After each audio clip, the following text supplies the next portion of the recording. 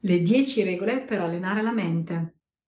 Buongiorno a tutti, sono Giusy Ciccolella, un'educatrice che lavora da quasi 20 anni nel campo della riabilitazione psichiatrica e geriatrica. Se vuoi sapere qualcosa di più su di me e sul mio lavoro, vai a vedere il mio sito internet www.stimolazionecognitiva.info e la mia pagina Facebook Stimolazione Cognitiva Domicilio per anziani con demenza o Alzheimer. Così potrai dare un occhio a quello che faccio e chi sono. Per non fare un video troppo lungo che risulterebbe quasi noioso, ho deciso di dividere dividere queste 10 regole in tre video. Oggi questa sarà la prima parte, parleremo quindi delle prime tre regole, i primi tre comandamenti per allenare la mente. Il primo comandamento per allenare la mente è effettuare ogni giorno quotidianamente costanti esercizi di stimolazione cognitiva.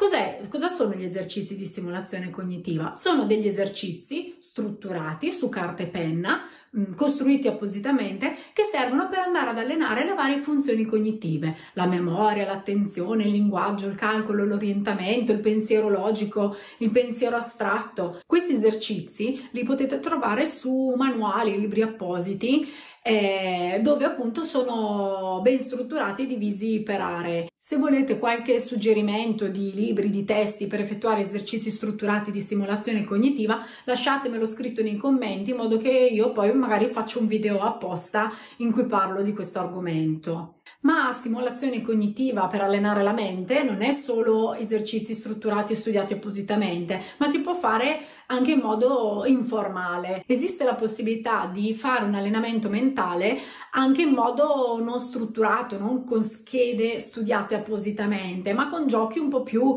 informali. Ad esempio i giochi di società, giocare a carte, il sudoku, eh, la settimana enigmistica, i crucipuzzle, i puzzle, scacchi, dama, tutti quei giochi che facciamo normalmente che non ci rendiamo conto, magari non siamo consapevoli del fatto che in verità stiamo usando fortemente le nostre capacità cognitive.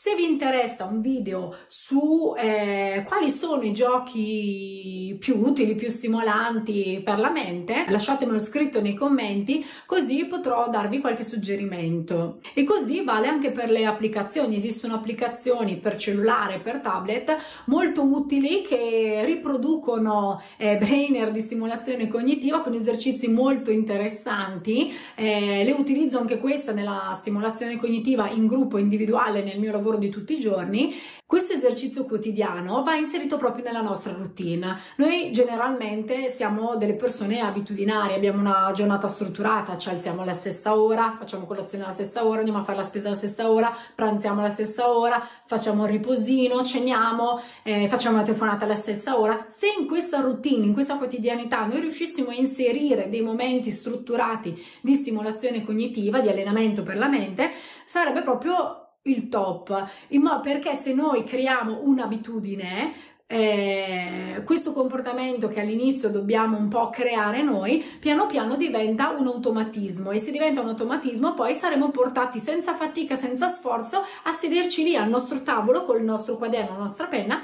a continuare gli esercizi di stimolazione cognitiva giorno dopo giorno, perché il senso di esercitarsi ogni giorno per allenare la mente è proprio quello, cioè di farlo ogni giorno eh, anche breve per 20 minuti, 30 minuti, vedrete che poi una volta che sarete lì seduti non vi accorgerete del tempo che passa e in, uno, in un'ora passerà velocissima. Quando io faccio le, i gruppi e gli individuali di un'ora di stimolazione cognitiva mi dicono sempre eh, come è passato già un'ora, quindi perché sono attività molto piacevoli.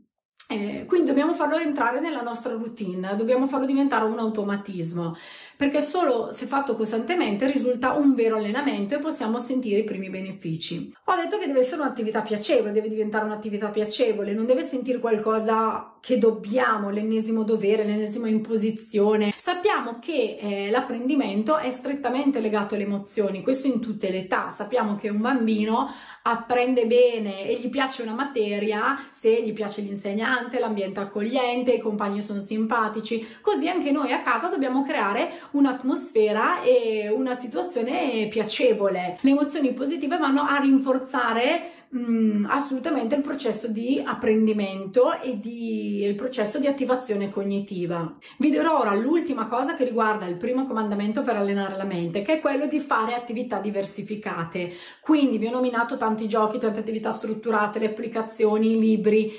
mm, va tutto bene, più diversifichiamo le nostre attività, quindi un giorno gioco a scacchi, un giorno faccio il cruciverba, l'altro giorno faccio il puzzle, più diversifichiamo le nostre attività, più alleniamo parti diverse della nostra mente. Sappiamo che il cervello è fatto di varie parti, adesso non entro nel dettaglio, non, non voglio entrare nella questione medica, ricordo che il mio canale ha un'impronta educativa, non medica. Il nostro cervello, eh, ogni parte del nostro cervello ha diverse funzioni, quindi eh, più attività diverse facciamo, più andiamo ad allenare tutte le nostre funzioni del cervello. È come andare in palestra. Quando vado in palestra per fare l'allenamento fisico, l'allenamento motorio, non è che vado in palestra e muovo sempre solo un braccio. E muovo anche l'altro, muovo le spalle, muovo le gambe, le ginocchia, i glutei, muoviamo tutte le parti del corpo. E così dobbiamo fare allenare tutte le parti della nostra mente. Il secondo comandamento per allenare la mente. Prendersi cura di sé e della propria quotidianità. Quindi vestirsi, lavarsi, truccarsi, pettinarsi, fare la spesa, eh, rifare i letti, fare la lavatrice, cucinare, eh, riordinare la casa, mantenere un ruolo in famiglia, sentirci utili, permette di migliorare il nostro umore, il nostro, la nostra autostima, il nostro senso di autoefficacia, la nostra padronanza, ci permette di sentire che ancora apparteniamo al nucleo familiare perché spesso quando eh, una persona inizia ad avere delle difficoltà cognitive inizia a fare le cose più lentamente, con più fatica e quindi tende a tirarsi indietro, a non fare, a farsi sostituire dal familiare. Questa cosa è sbagliatissima, dobbiamo continuare a fare. Lo faremo più lentamente, lo faremo con più fatica, non importa, lo faremo meno bene di vent'anni fa, non importa. Quindi continuare a sperimentare, usare queste in campo educativo si chiamano abilità di base e abilità domestiche. Continuare a esercitare ogni giorno le nostre abilità di base, le nostre abilità domestiche, fa bene alla mente e fa in modo che noi non perdiamo queste capacità, perché meno si fa, meno si farebbe. Qui mh, mm, faccio un appunto ai familiari, eh, devo tirarvi un po' le orecchie perché quando un nostro familiare malato inizia a fare le cose più faticosamente, noi iniziamo a sostituirci a lui perché facciamo prima, perché fa fatica, ma poverino faccio io. E invece no, bisogna lasciare spazio con molta pazienza e molta tolleranza. Quindi sicuramente il nostro familiare malato non riuscirà più a fare le cose come prima e con gli stessi tempi, ma lasciamoglielo fare perché se no perderà la capacità di farlo. Chi se ne frega poi se il letto non è tutto bello liscio e c'è qualche piega? Chi se ne frega se sul bicchiere che è asciugato eh, rimangono delle gocce di calcare? Chi se ne frega se eh, mette il bicchiere al posto del piatto e la forchetta al posto del cucchiaio? Poi noi senza farci vedere andremo a ritoccare la situazione, senza fargli pesare gli errori, lasciamo spazio al nostro familiare con delle difficoltà, altrimenti gli facciamo peggio. Pensiamo, oh, adesso non voglio fare gli esempi, io faccio sempre la similitudine eh, della vita degli anziani malati con la vita del bambino, perché noi prestiamo tanta attenzione, abbiamo tanta pazienza e nutriamo molto il corpo e la mente del bambino. L'anziano si tende a dire, vabbè, mh, mm, è vecchio, è normale, ecco. Io faccio tanti parallelismi con la vita dei bambini proprio perché in verità la nostra mente è plastica tutta la vita e se volete lasciatemi nei commenti, posso fare un video a parte sulla plasticità neuronale, se no qui diventa un video infinito.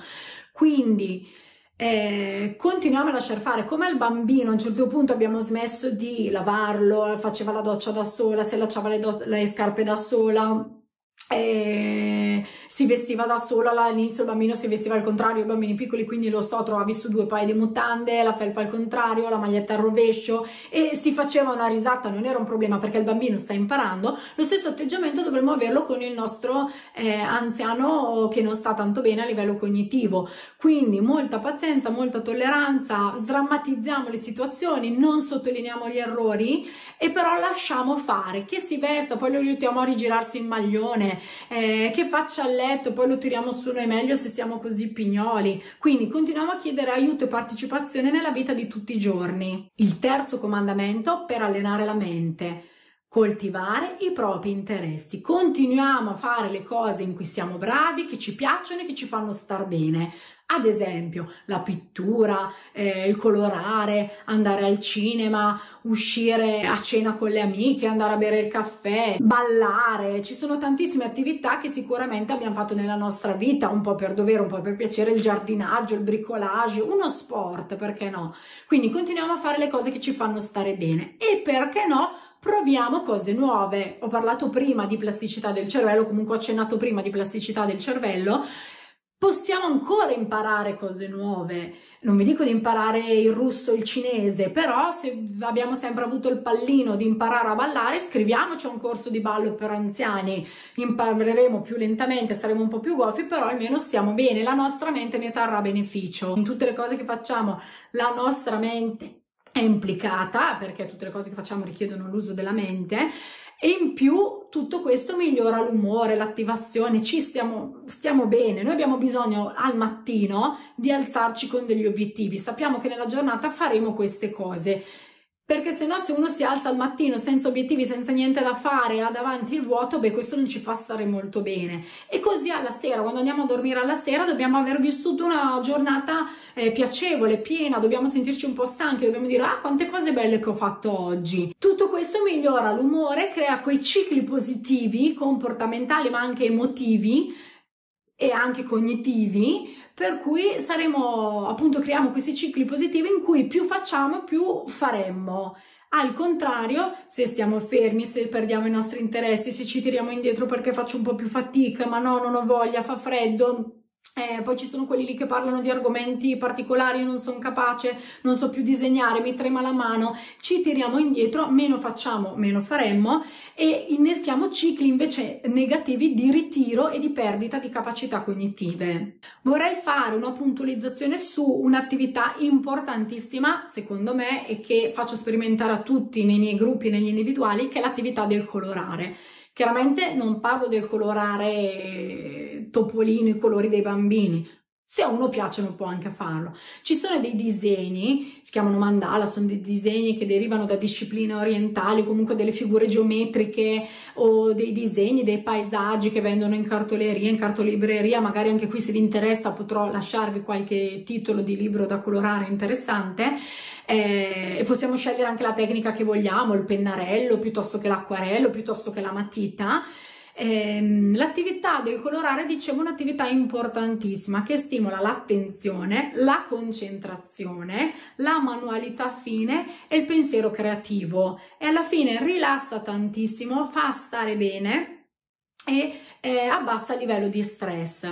L'attività del colorare è sottovalutata, mm, di solito le persone si approcciano con molta resistenza. Provate veramente, provate a colorare magari con un sottofondo musicale se vi piace, una musica classica o il vostro autore preferito, oppure anche in giardino col rumore della natura, oppure anche nel silenzio, che è così bello il silenzio.